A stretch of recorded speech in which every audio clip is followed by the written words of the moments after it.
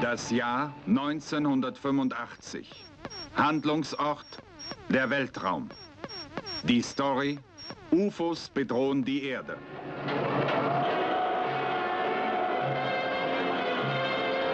Das ist Gorat, ein UFO, 600 Mal so groß wie die Erde.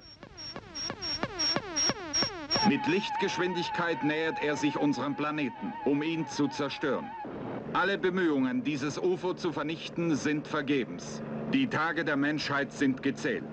Da hat ein Mann die rettende Idee. Wenn das UFO nicht von seiner Bahn abzubringen ist, muss die Erde aus ihrer Umlaufbahn gebracht werden. UFOs zerstören die Erde. So heißt dieser neue amerikanische Science-Fiction-Film, den der große Regisseur G. Wells in 18-monatiger Dreharbeit schuf. Was dieser Film zeigt, kann eines Tages Wirklichkeit werden.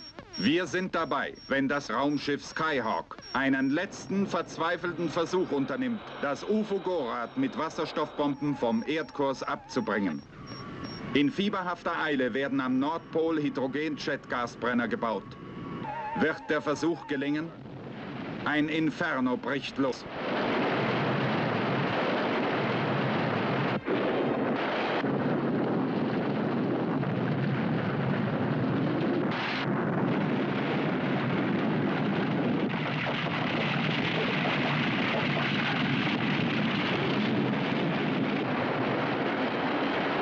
UFOs zerstören die Erde.